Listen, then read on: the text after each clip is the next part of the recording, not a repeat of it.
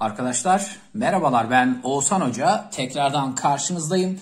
Bugün harika bir video hazırladım. Harika sorular seçtim sizin için. İnşallah ona yakın soru ile sizin ses bilgisi probleminizin büyük kısmını halledeceğiz. Tabi hiç bilmeyenler için faydası olacak ama konuya hakim olan öğrencilerin detayları kafalarında oturtabilmeleri açısından mükemmel bir video olacak. Ona göre dikkatli bir şekilde dinleyelim arkadaşlar. Hadi hiç vakit kaybetmeden başlayalım. Sorularımızı tekrar söylüyorum. Oğuzhan Hocam Soru Bankası'ndan seçtik. İnşallah birkaç gün sonra piyasaya süreceğiz kitabımızı. Hadi başlayalım. Bize diyor ki yukarıdaki parçadan hareketlerle hareketle numaralanmış seçeneklerden hangisine ulaşılabilir diyor ünlü değişmesi vardır. Değerli öğrencilerim ünlü değişmesi geneli itibariyle iki kelimeden oluşuyordu. Bana ve sana. Yani sanayı gördük hemen tikimizi atacağız. Bu doğru. Devrediyorum kelimesinde türetilirken ünlü düşmüştür. Peki hocam türetilirken ünlü düşmüştür nedir? Arkadaşlar türemek demek yapım eki almak demektir.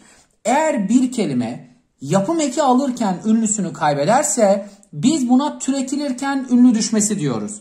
Bakalım devir şurada iyi düşmüş. Yani burada ünlü düşmesi var. Ancak devir etmek bir bileşik kelimedir.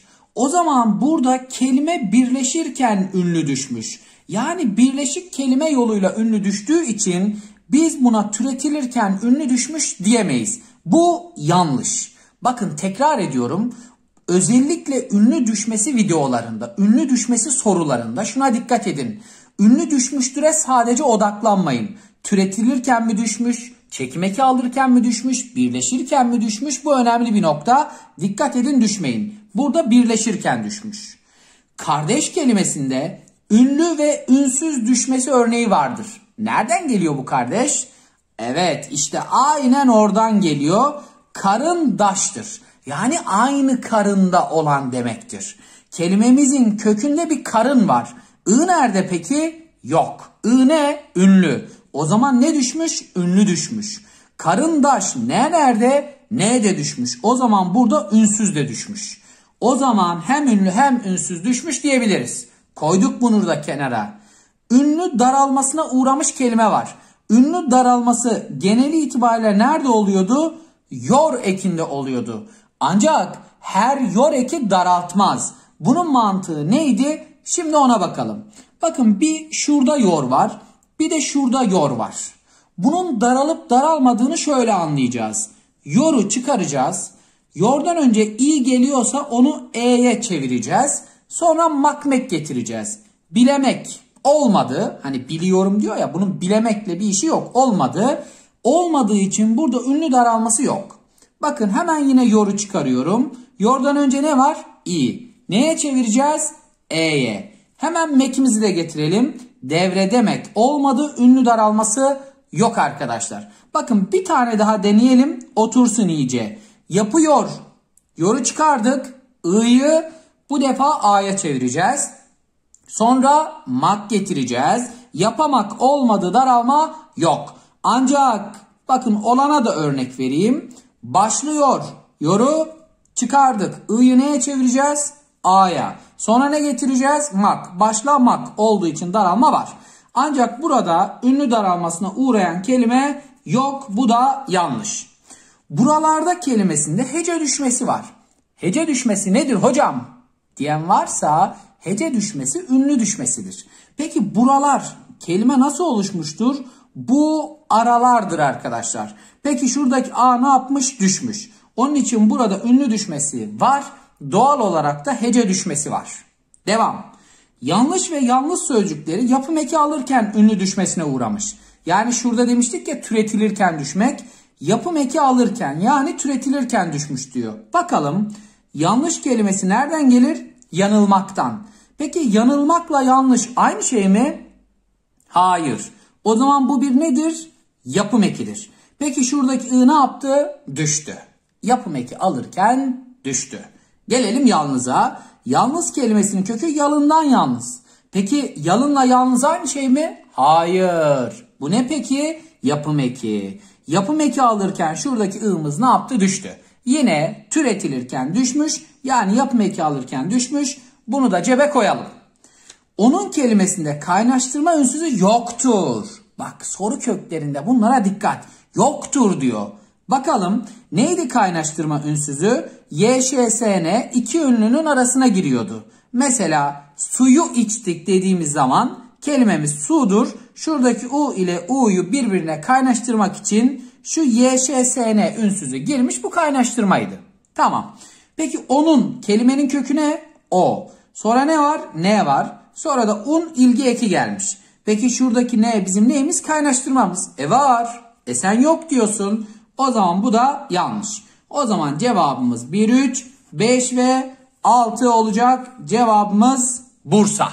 Arkadaşlar bakın bir soru ne kadar detay öğretiyor. Ne kadar kapsayıcı sorular. Soru bankamızdaki soruların birçoğu bu mantıkla hazırlanmış. İleri seviye dediğimiz bu arkadaşlar. Onun için soru bankasını almayı ihmal etmeyin. Videoyu burada da şöyle bir durdurup beğenip abone değilseniz abone olursanız çok memnun olurum değerli öğrencilerim. Evet devam ediyorum. Hangisinde ünlü daralması örneği yoktur? Az önce az önce öğrendik. Neydi? Yorekinden önce daralıyordu. Bir de yoreki olmadan üç kelime daralır. Diye, niye ve yiyecek. Peki hocam bunlar nasıl daralıyor derseniz diye demekten, niye ne'den, yiyecek y'den gelir. Bunları da yor değil de y daraltıyor haberiniz olsun. Bir daha söylüyorum. Yor daraltır. Yor dışında da diye, niye ve yiyecek daralmıştır. Dikkat ediyorsunuz. Başlıyorum. Şurada yoru gördük. Hemen uygulayalım. Ne yapıyorduk? Yoru çıkarıyorduk. U'yu neye çevireceğiz? Harikasınız. A'ya. Sonra mak getireceğiz. Bu önemli bak kardeş. Bu makı getirmezsen hata yaparsın. Dikkat. Oynamak oldu. Daralma var. Eyvallah. Şurada bir yor gözüme çarptı. Hemen yoru çıkardım. İ'yi neye çevireceğim? E'ye. Sonra ne getireceğim? Mek. Gelemek olmadı. Burada daralma yok. Ancak yoru görüp geçersen hata yaparsın. Ne var şurada? Niye? Ne demiştim? Diye, niye, yiyecek. Burada da neden geliyor. Şurada da yine bir daralma var. Bunu da cebe attık. Devam. Neyi gördük? Yoru gördük. Yoru çıkaracağız. Ü'yü E'ye çevireceğiz. Gülmemek oldu. Daralma var. Devam. Biliyordu. Yoru çıkardık. İ'yi E'ye çevireceğiz. Bilemek olmadı. Burada daralma yok. Diye niye yiyecek de yok. O zaman cevabımız Denizli. Buna da bakalım. Konuşuyordu. Burada yor var bir tane. Yoru çıkardık. U'yu A'ya çevirdik. Konuşamak olmadı. Burada daralma yok. Ancak şurada bir tane daha görünüyor. Yoru çıkardık. U'yu A'ya çevirdik. Sonra makımızı getirdik. Boyamak, daralma var. Demek ki ünlü daralması yorlu oluyor. Bir de diye, niye, yiyecek de oluyor. Dikkat edelim. Peki devam. Diyor ki hangisi söylenemez altı çizili kelimelerle alakalı? Ünsüz benzeşmesinin diğer adı ünsüz sertleşmesidir. Aynı zamanda fıstık şahap ünsüzleriyle oluyordu değil mi? Değerli öğrencilerim kelimemiz ilişmektir. Şurada ş var. Şurada da k var. E fıstıkçı şahap ünsüzleri yan yana gelirse aslında bu ilişkidir, ilişki yapıyor. Bakın iki fıstıkçı şahap ünsüzü yan yana gelerek benzeştirmiş birbirlerini. O zaman benzeşmemiz var. Ünsüz değişimi neydi? Yumuşamaydı. Yumuşama nerede oluyordu? PCTK BCDG'ye dönüşüyordu. Bakın dedik var. KG'ye döndü, yumuşadı. Yumuşamanın diğer adı ünsüz değişimidir. Ünlü düşmesi var. Ünlüler düşecek. A, E, I, I, O, Ö vesaire. Çevre çevirmekten gelir. İ düşmüş. Ünlü düşmesi de var. Ünlü değişmesi en başta söyledim. Genelde bana ve sana kelimelerinde olur. Peki var mı bunların içerisinde? Var. O zaman şuradaki sanayı da gördük. Ünlü değişimi de var. Ünsüz düşmesi yok arkadaşlar. Peki ünsüz düşmesi nasıl olur derseniz hani şöyle oluyor diyor. Ufacık diyorduk. Ufaktır şuradaki K düşüyordu. Böyle bir kalıp yok değerli öğrencilerim. Evet devam. Bakın sorunun kralı. Yine yakışıklı, karizmatik bir soru daha geldi. Hangisinde farklı bir ses düşmesi vardır? Bak düşme var diyor ama farklı olacak.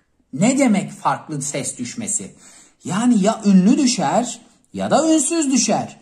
Düşenin ünlü mü, ünsüz mü olduğuna bakacağız. Kuraklık kelimenin kökü nedir? Harikasınız. Kurak olan yer ne olur? Kuru olur tabii ki. Bu aslında kuru aktır. Peki burada hangi harf uçmuş? Şuradaki U uçmuş. U ne peki? Ünlü. O zaman burada ünlü düşmesi var. Devam. Ayrılıklar. Kelimenin kökü nedir? Harikasınız budur işte ya. Kelimenin kökü ayırmaktır. Peki şuradaki I ne yapmış? Uçmuş. I ünlü mü ünsüz mü? Ünlü. O zaman ne düşmüş? Ünlü düşmüş yine. Devam.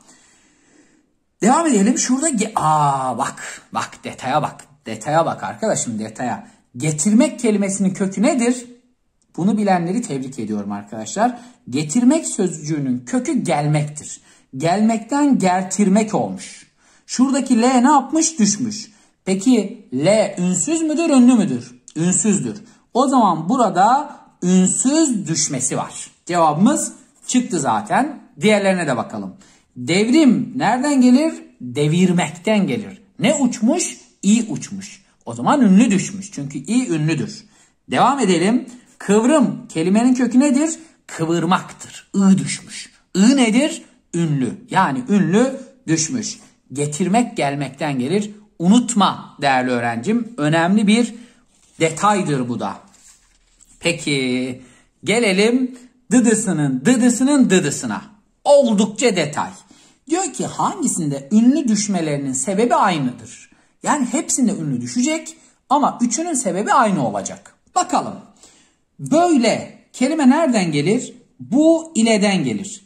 İki kelime birleşirken düşmüş. Nasıl? Nereden gelir? Ne asıl? İki kelime birleşirken düşmüş. Yani şunla şunun nedeni aynı. Yumurtladı. Kelimenin kökü nedir? Yumurtadır. Yumurtadan yumurtalamak olmuş. Yumurtayla yumurtalamak aynı şey mi? Hayır. O zaman buradaki la nedir? Yapım ekidir. Bu yapım eki alırken düşmüş.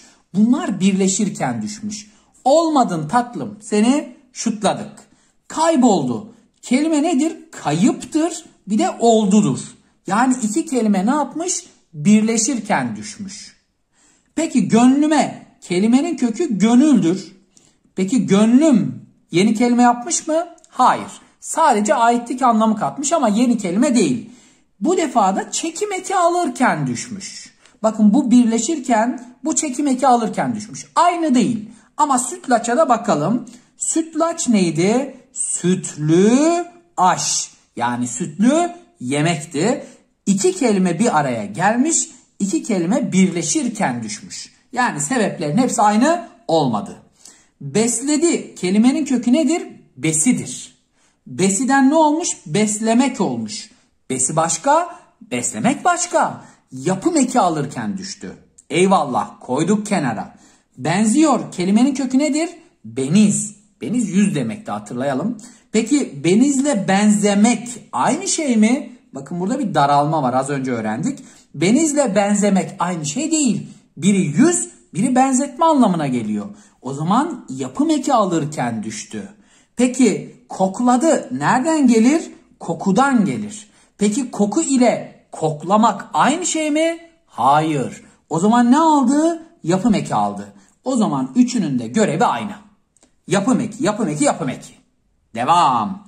Şehrimiz, kelimenin kökü şehir. Kimin şehri? Bizim şehrimiz. Aitlik anlamı kattı ama yeni kelime değil. Bu çekim eki alırken düşmüş. Aklında kelimenin kökü akıl. Senin aklın yine aitlik var. Yine çekim eki var. Bununla bu da aynı. Devam edelim. Yalnızlık kelimenin kökü neydi? Yalın. Yalınla yalnız aynı şey mi? Hayır. O zaman bu bir nedir? Yapım ekidir. Bu yapım eki alırken düşmüş. Yani şunlar aynı ama bu aynı değil. Bunu da şutla. Yanlış kelimenin kökü yanılmaktan yanlış. E peki yapım eki mi? Yapım eki. Çevirmekten çevre. E bu da yapım eki. Bakın hep şuradaki ünlülerimiz ne yapıyor? Düşüyor. Bu ikisi de yapım eki. Ancak devrette hangi yolla oluşmuş değerli öğrencim? Bakın devir var, etmek var. İki kelime birleşirken düşmüş. Yine bunun sebebi de aynı değil. Bakın bunları çözdükten sonra şöyle ekranı dondurun. Bir daha çözün değerli öğrencilerim ki hata yapmayasınız. Yoksa böyle sadece dinleyip geçerseniz unutursunuz. Tekrar yapmayı ihmal etmiyorsunuz benim değerli öğrencilerim. Evet devam ediyoruz değerli öğrencilerim. Bakın tekrar hatırlatayım. Videoya yorum yapmayı ihmal etmeyin değerli öğrencilerim. Korkmayın yorum yapınca bir şey olmuyor. Beraber büyüyeceğiz. Büyümeye, desteklerinize ihtiyacımız var. Kanalımız yeni. İnşallah sizin desteklerinizle milyonlara ulaşacağız. Desteklerinizi göstermekten çekinmeyin değerli öğrencilerim. Bir de istediğiniz konular varsa hangi soru konulardan soru çözüm videoları çekmemi istiyorsunuz ya da hangi kısa videoları istiyorsunuz? Bunlarla alakalı da yorumlar yapabilirsiniz değerli öğrencilerim. Hadi bismillah devam edelim biz. Diyor ki altı çizili kelimede bulunan ses olayı aşağıdaki cümlelerin hangisinde kullanılmamıştır? Sırra ben bu sırra eremedim diyor. Peki kelime nedir? Sırdır. Sonra A ünlüsü geliyor. Yönelme hal eki geliyor. Şurada R var. Bu R nedir? Ünsüzdür. Peki sır adır aslında ama sırra oluyor. Oradaki R sonradan türüyor. Peki R ünlü müdür, ünsüz müdür? Ünsüzdür. O zaman burada ünsüz türemesi var. Peki ünsüz türemesinin diğer adı neydi? Ünsüz ikizleşmesi. Evet ünsüz türemesi, ünsüz ikizleşmemiz var. Bakalım şimdi. 3 şıkkı. Aslında bu şık ı'dır. K girmiş araya. Burada ünsüz türemesi var. Devam ediyorum. Bana gelip hisseni, bakın değerli öğrencilerim bu soruyu yazarken tamamıyla öğrenciyi düşürmeye amaçlayarak yazdım. Burada his e gibi duruyor ama cümleyi okumazsan hata yaparsın. Hisse anlamında kullanmış. Bakın dikkat edin. Bana gelip hisseni satın almak istiyorum. Yani pay anlamında. Bu hisle alakası yok. Burada kelime köküdür. Yani burada ünsüz türemesi yok. Yine iki tane S de şurada bir araya gelmiş. Ancak burada sesten sessiz olmuş. Şuradaki siz olumsuzluk ekidir. Onun için burada da ünsüz türemesi yok. Cevabımız Bursa. Diğerlerine bakalım. Hal ettidir. Şuradaki L türemiş, ünsüz türemiş. Dikkat edin. Af ı'dır. Şuradaki F türemiş. Yine ünsüz türemiş.